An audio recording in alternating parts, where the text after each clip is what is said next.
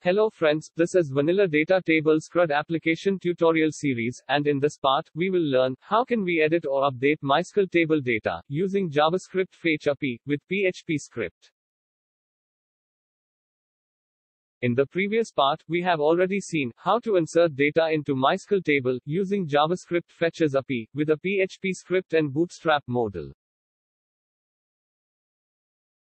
Now in this part, we will first create an edit button in each row of the table, and when we have clicked on the button, then modal will be popping up with fill data, and then after, by click on edit button, then MySQL table data will be edited, using JavaScript Fetch API. Now let's start discussing this topic. So first we have gone to index.php file, and here we have added a new table column, with name action, under this table column, we will make edits and delete button.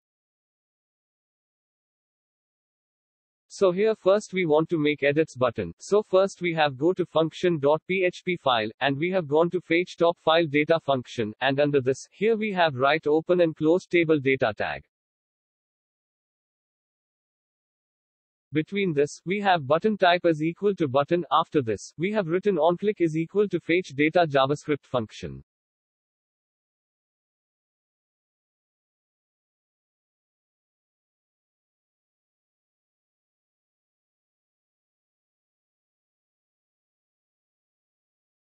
Under this function, we have written $row source code id variable, so this edit button will display on each table row data, and when we have clicked on this button, then this fetch data function will be called.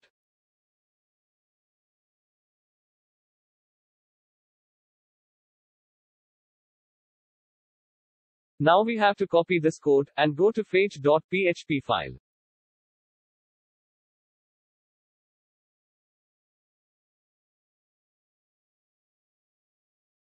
Under this file, we have written $subarray variable as equal to, and here we have pasted that edit button code. Now we have saved this code, and check output in the browser.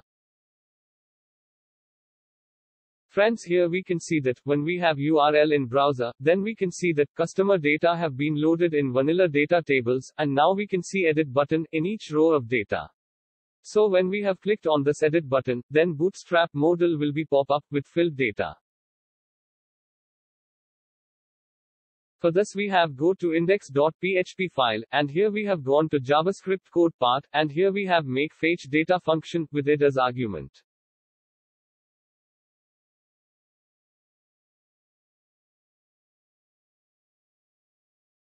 Under this function, we have written form data variable as equal to new form data object. In this function, we will use form data object for sending data to the server.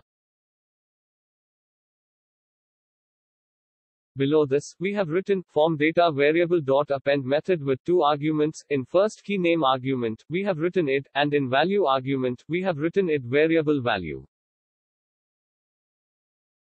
The same way we want to send action variable to fetch the value with Ajax request. So for this, we have written form data variable dot append method with two arguments. In the first argument, we have write action variable name, and in the second argument, we have written fetch. Now we have API method with two arguments, and in the first argument, we have written action.php, so it will send Ajax request to this file. And in the second argument, we have written option, and in the first option, we have written method, and here we have used post method for sending data to the server. In the second option, we have written body, and here we have written form data variable, so this option will send data to the server. Next we have written, then callback function, this function will just receive HTTP response from server.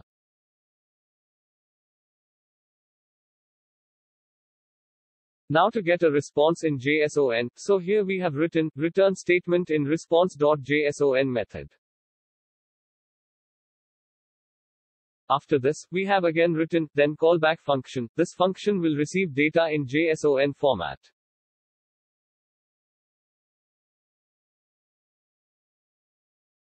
Under this function, for fill first name text box with data, so here we have written underscore function with text box it first name dot value is equal to response data dot first name variable. After this, for fill last name text box with data, so here we have written underscore function with text box id last name dot value is equal to response data dot last name variable. Next to fill a customer email text box with data, so here we have written underscore function with text box id customer email dot value is equal to response data dot customer email variable. Now for customer gender, select box, here we have written underscore function, with select box it customer gender dot value is equal to response data dot customer gender variable. After this, we have gone to Bootstrap modal code, and here we have created one input type as equal to a hidden field, with name as equal to customer id, and it is equal to customer id.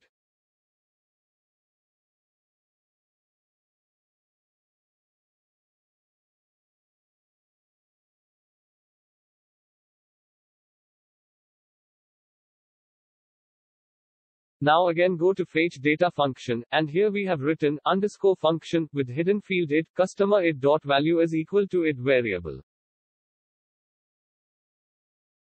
Next we want to change the hidden action field value, so here we have written hidden field id action dot value is equal to update. After this, we want to change Bootstrap modal title text, so here we have written, the field id modal title dot inner HTML is equal to edit data, so this title will be displayed when we have done editing data operation. Same way, we want to change submit button text, so here we have written, button id, action button, dot inner HTML is equal to edit, so this text will be displayed on the submit button. Lastly, we want to pop up Bootstrap modal, so here we have called open modal function. So here our code is ready. Now we have gone to action.php file. And here we have written if statement, and under condition, we have written dollar $post action variable value is equal to fetch. If this condition true, then it will execute, if a block of code.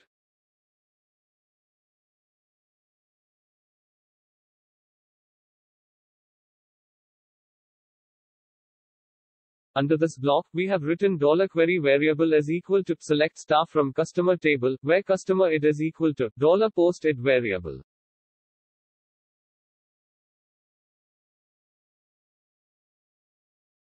Below this query, we have written dollar $result variable as equal to dollar $connect variable to query method, and under this, we have written dollar $query variable. This method will return query execution result in an array format.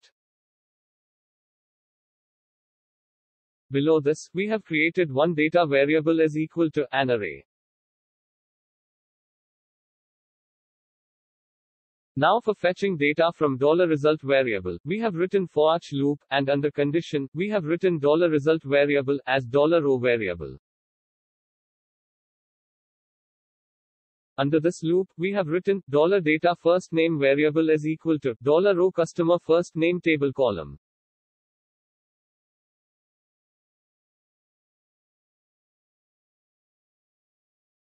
For store last name table column data, here we have written, the dollar $data last name variable is equal to dollar $row customer last name table column name. For store customer email table column data, so for this, here we have written, dollar $data, customer email variable is equal to dollar $row customer email table column name. And lastly for store customer gender table column data, here we have written dollar $data, customer gender variable is equal to dollar $row customer gender table column name. So here, we have stored all data in dollar $data variable. Now we want to send to the AJAX request in JSON format. So here we have written echo statement with JSON encode function with dollar $data variable. So now we have checked the output in the browser. Friends here, first we have refreshed page, and after this, we have clicked on this row edit button. After click on edit button, here we can see that Bootstrap modal has been pop up with fill form data, and here, we can see that modal title, and submit button text also change, so when we have clicked on this edit button, then customer data must be edited. So for this, we have go to index.php file, and here we have already written code for submitting form data. So now we need to write only the PHP script for submit data. So in action.php file, here we have written if statement, and under condition, we have written dollar $post action variable value is equal to update. If this condition true, then it will execute if a block of code.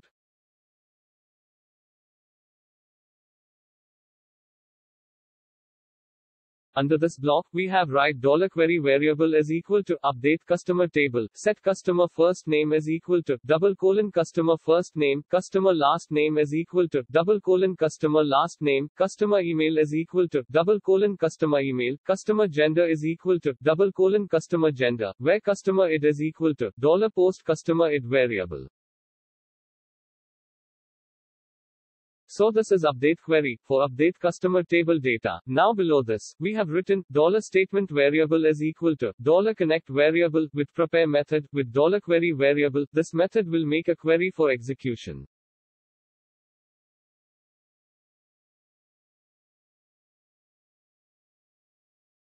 Now for execute query, we have write if statement, and under condition, we have written dollar statement variable with dollar executes method, and under this, we have written dollar data variable. If query successfully runs, then it will execute if a block of code.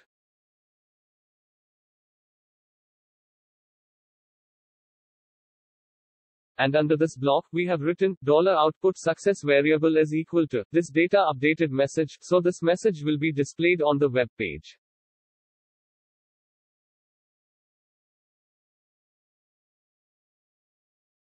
Now we need to send data to the AJAX request in JSON format, so here we have written echo statement with JSON encode method, and under this, we have written dollar $output variable, so it will send data in JSON format, so here our code is ready. Now we have checked the output in the browser. Friends first we have refreshed web page, and after a refresh of page, here we can see that customer data has been loaded in vanilla data tables, and in each row of data, we can see edit button. Now we have clicked on the edit button, and after click on the button, here we can see that Bootstrap modal has been popping up in the browser, and in modal, we can see, the form has been filled with data. Now we have changed last name details, and after this, we have clicked on the edit button. So after click on the edit button, here we can see success message on a web page, and here last name details has been changed. So in this tutorial, we have performed update data operation in vanilla datatable CRUD application on a single page without page refresh by using JavaScript fetch API with PHP script and Bootstrap modal. In the next part, we will learn how to perform deletes data operation in vanilla data table CRUD application by using JavaScript fetch API with PHP script.